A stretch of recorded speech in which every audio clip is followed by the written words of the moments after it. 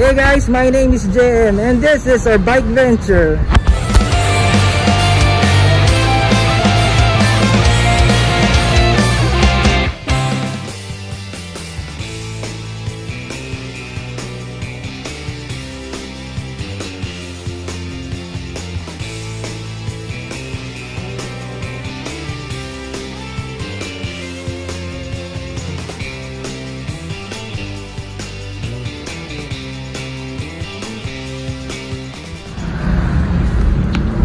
Hi, we're here at Las Piñas, Bamboo Garden. So, today, nakipag-meet ako kay Madam Sol. Siya yung isa sa beneficiary natin sa Bike to Work project natin. So, as you could see, pinahiram ko sa kanya yung ating uh, folding bike na 24 inch yata to. So, Madam, kamusta naman po? Hindi po, masaya po, hello.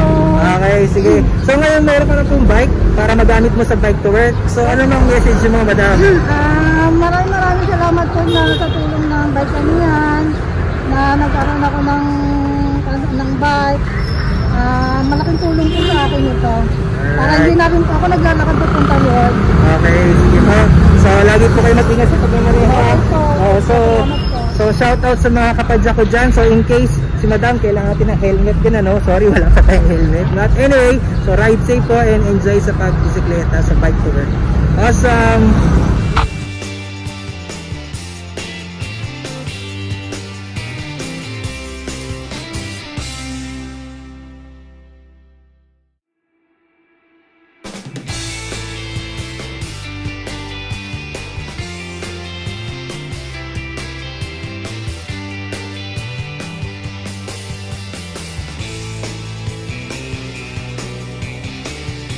Okay guys, so dito pa rin kami sa Bamboo Organ. So ito yung pamangkin ni Madam Sol.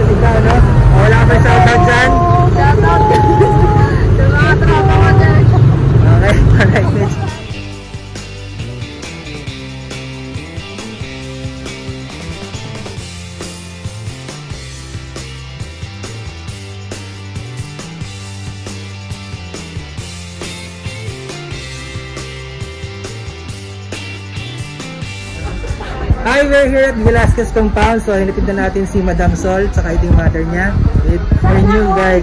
Sana. okay, sige. So, nagpunta kami dito and thanks for watching. Okay, ciao!